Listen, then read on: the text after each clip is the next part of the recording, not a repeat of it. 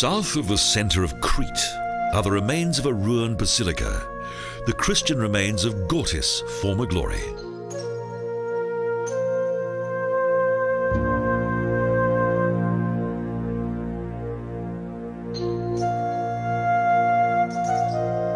Within the early Christian bishop church that originally contained three naves, only the altar area has survived. Over the centuries, the remainder of this once monumental church has collapsed.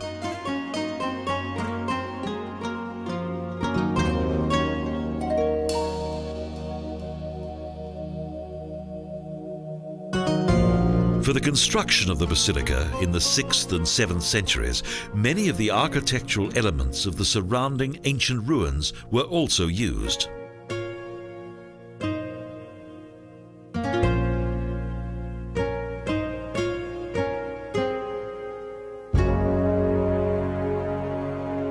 During construction, there was no lack of decorative old capitals, as Gortys was once one of the most important cities in Crete.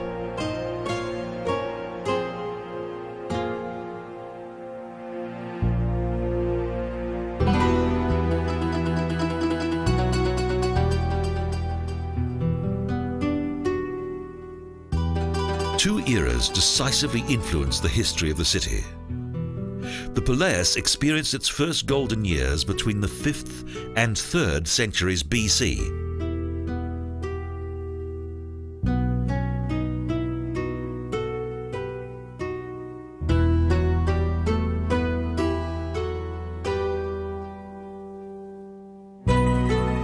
However, the first settlement of this region took place much earlier. Archaeologists even excavated a Minoic farmer's house that dates back to the 16th century.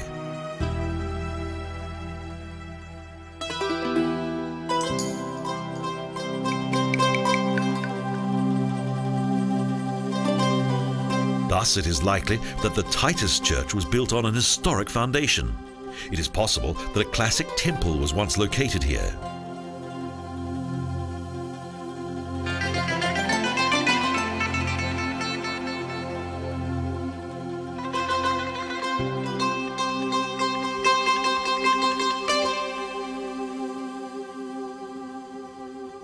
Gortys became famous among archaeologists due to a sensational discovery within the walls of a nearby Roman Odeon.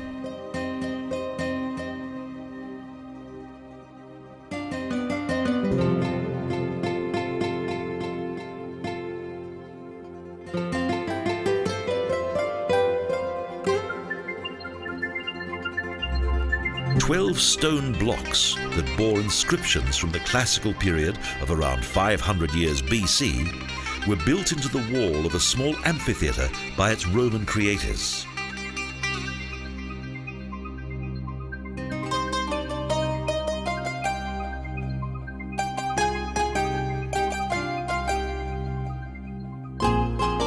The stones contain sections of the great legal code of Gortys. In using this material, the Romans managed to preserve one of the best kept legal texts of ancient Greece.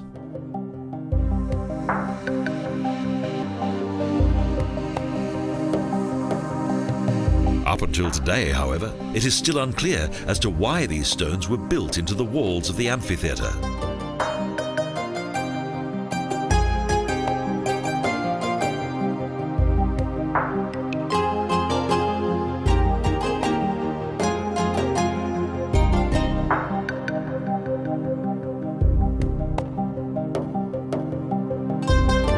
Between 68 and 66 BC, the Roman Empire had reached the island of Crete.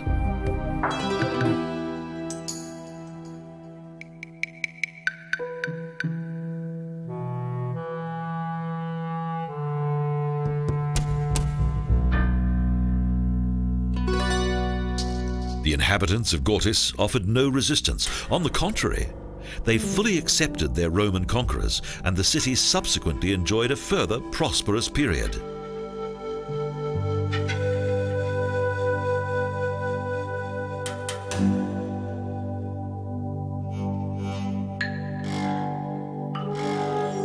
Later, the city's population increased to more than 300,000.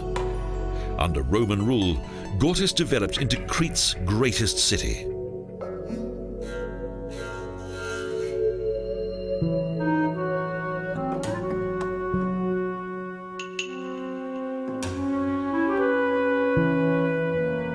The rise of the city had already begun in the 3rd century BC, following the successful defeat of Phaistos and Matala harbour.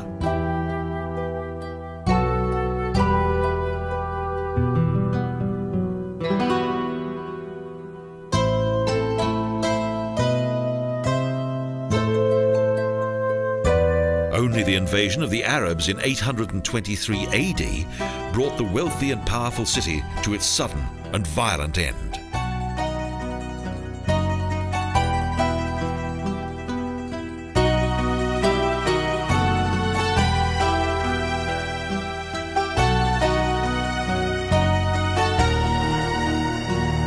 After this, Gortys was destroyed forever.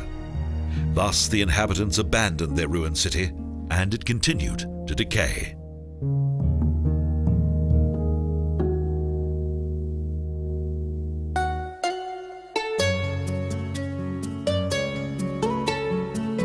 A number of beautiful and ancient ruins are located amid numerous olive trees. And the plane tree is also worth a closer look.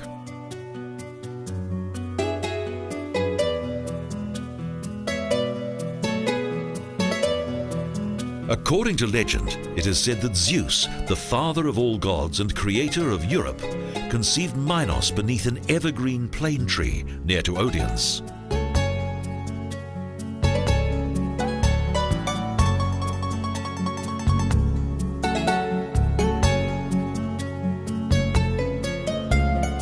Crete's first cultural blossoming began after the birth of the Minoic kings.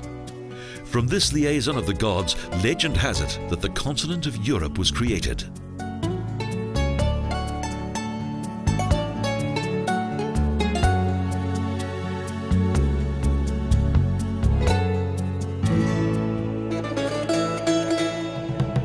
An ancient Christian legend has its origin in Gortys. Thus, Holy Titus is said to have once lived here.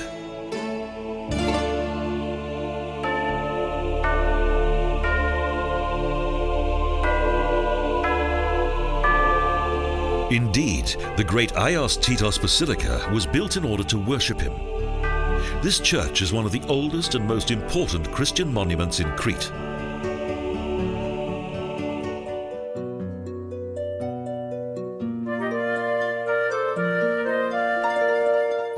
The city was not only the residence of the first bishops of Crete, it was here that Gortys' conversion to Christianity began and eventually spread across the entire island.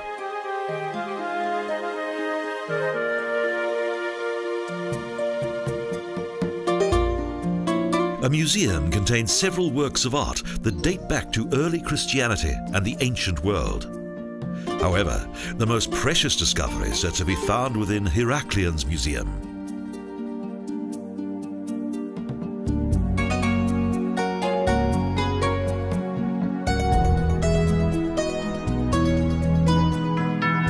Although nature has buried many of its treasures, even today, a few magnificent statues still manage to reflect the former size and wealth of the city of Gortys.